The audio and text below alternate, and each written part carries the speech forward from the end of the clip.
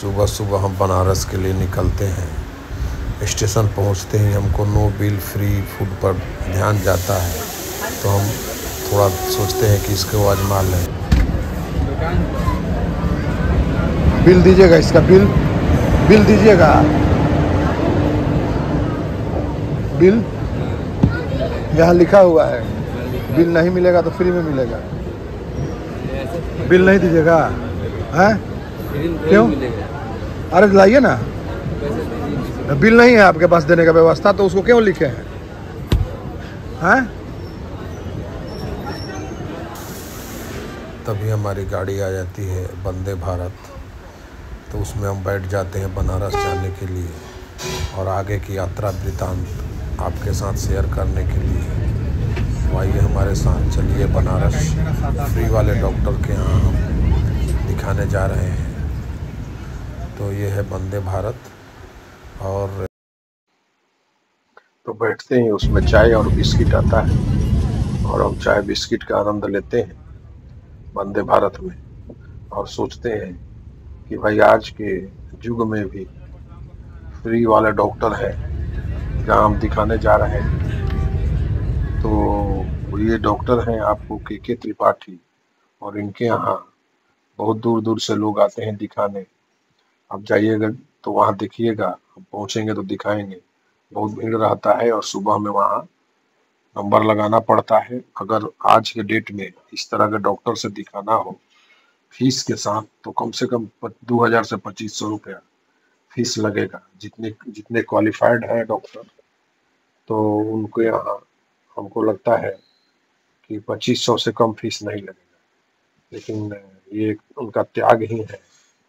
कि किसी को भी आप नंबर लगाइए, अमीर हो या गरीब, आप वहाँ दिखा सकते हैं फ्री में।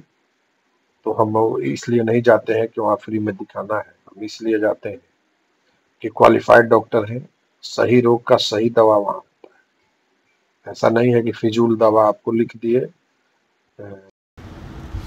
वहाँ ना फिजूल दवा आपको लिखा हुआ मिलेगा, न फिजूल जाँच। फिजूल जाँच भी नहीं होता है। और सबसे बड़ा चीज़ है कि उनको राष्ट्रपति से अवार्ड भी मिल चुका है पद्म विभूषण मिल चुका है डॉक्टर साहब को। और ये B H U B H U से, मेडिसिन विभाग से अवकाश प्राप्त है। और वहाँ जो मरीज़ आते हैं, उनका फ्री इलाज होता है, बहुत ज़रूरतमंद है। तो उनको हमको लगता है कि जाँच वगैरह भी वो फ्री में कराते हैं। इस तरह के डॉक्टर हैं और हम बराबर उन्हीं के यहाँ दिखाते हैं और उन्हीं के यहाँ जा रहे हैं। आपको सारा चीज़ दिखा रहे हैं, कैसे पहुँचना है और कैसे जाना है।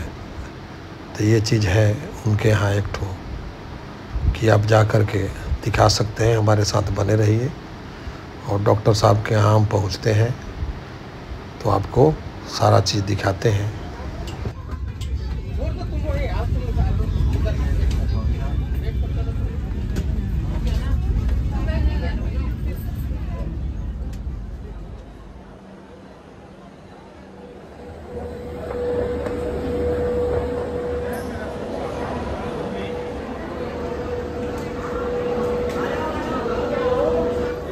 बनारस स्टेशन से बाहर आ गए हैं वंदे भारत से उतर कर के रास्ते गोमती नगर को जाने वाली प्लेटफॉर्म क्रमांक वंदे भारत की सुखद यात्रा से निकल करके गाड़ी अच्छी थी।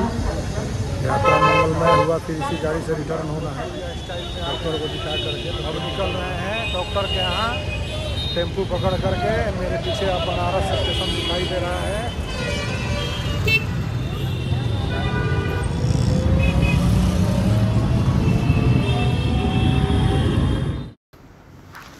डॉक्टर साहब के यहाँ पहुँच गए आपको ये बनारस में लंका में, राजेंद्रपुरी में इनका मेन रोड पर है। वहाँ पहुँच गए हैं। बाहर से आपको हम यहाँ इंतज़ार कर रहे हैं। डॉक्टर साहब से दिखा करके, दवा ले करके अब हम आरा के लिए प्रस्थान कर रहे हैं। बनारस से अब उस पार जाएँगे लेकिन उस पार जाएँगे, रोड के उस पार। वहाँ से कैंट के लिए टेंपू पकड़ेंगे और कैंट स्टेशन जाएँगे।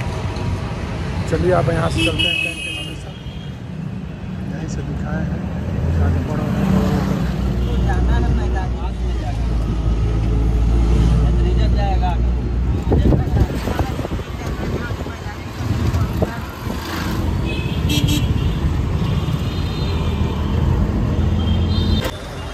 वाराणसी स्टेशन आ गए हैं। सोचे थे कि समय मिलेगा तो घूमेंगे लेकिन इतनी भीषण गर्मी में घूमने का मन नहीं कर रहा है। बस यहाँ से सात बजे साढ़े सात बजे। मेरी गाड़ी है वंदे भारत, यहीं जाके और देखते हैं डोमेट्री में तो रूम लेंगे और यहीं रुकेंगे। बहुत भीषण गर्मी है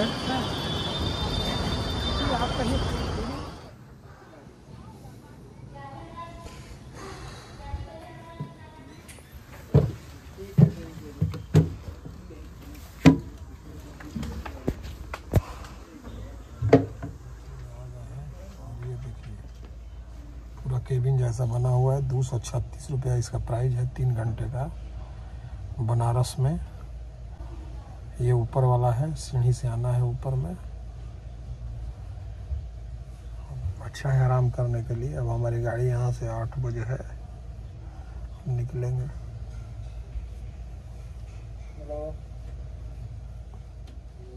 लाइन भी कटता है यहाँ बनारस स्टेशन पर।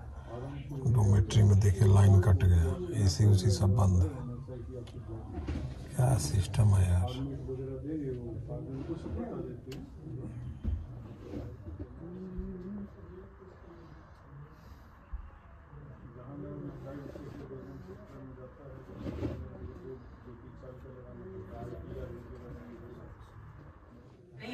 नहीं रिलैक्स होने के लिए आदमी आता है। रिलैक्स होने के लिए आदमी आता है आपके यहाँ तीन घंटा का आप दो सौ छत्तीस रुपया लेते हैं। घंटा के हिसाब डोमेट्री में तो पहले ही नहीं था चलिए सरकार आपको निजीकरण कर दिया लेकिन ऐसा थोड़ा है तो आप व्यवस्था कीजिए। घंटा के हिसाब से पैसा लेते हैं तो। सी रिटायरिंग रूम का है बहुत ही घटिया व्यवस्था है। बहुत ही बेकार सुबह से लाइन नहीं है यहाँ। अब देखिए AC room Varanasi Cantt free wifi सब बेकार है लाइनें नहीं रहेगा ये आपको मिलेगा। ये सब बेकार व्यवस्था है यहाँ। आईआरसीटीसी का। सुबह से जब से हम लोग आए हैं, उस समय से लाइन नहीं है और घंटा के हिसाब से आपसे पैसा लेंगे तीन घंटा का